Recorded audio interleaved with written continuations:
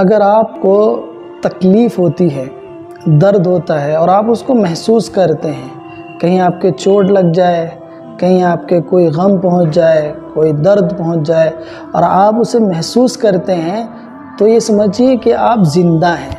मुर्दे को तो कोई तकलीफ़ नहीं होती। कोई उसके ज़ख्म दे, दर्द दे, तकलीफ़ दे, उसके जिस्म के किसी पार्ट को काट दे, मुर्दा इंसान को कोई तकलीफ़ नहीं होती। ज़िंदा तकलीफ़ होती है। तो अगर आप तकलीफ़ महसूस करते हैं तो आप ज़िंदा हैं। लेकिन अगर आप दूसरों की तकलीफ़ महसूस करते हैं तो आप ज़िंदा इंसान हैं।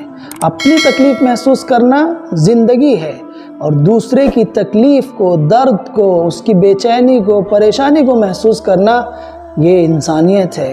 ये इंसान होना है। और बेहतर इंसान वो है जो दूसरे के दर्द, तकलीफ़ को समझकर उसे दूर करने की कोशिश करे।